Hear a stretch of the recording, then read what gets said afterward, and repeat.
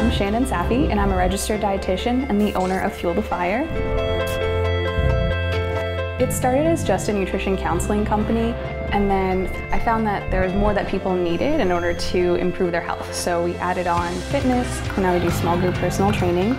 We also have a kitchen where we offer meal prep services and cooking lessons so that we're really being all inclusive when it comes to taking care of yourself, taking care of your family, and keeping everyone happy and healthy.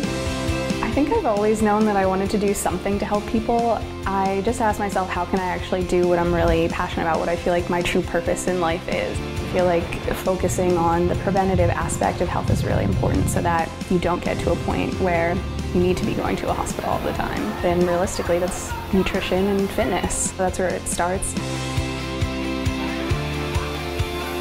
I really love every aspect of what we offer. It's stuff that I do in my life and that I really want to share with people. It's so hard to pick a favorite part. I mean, if I had to just pick one thing, I guess it would be the nutrition counseling aspect.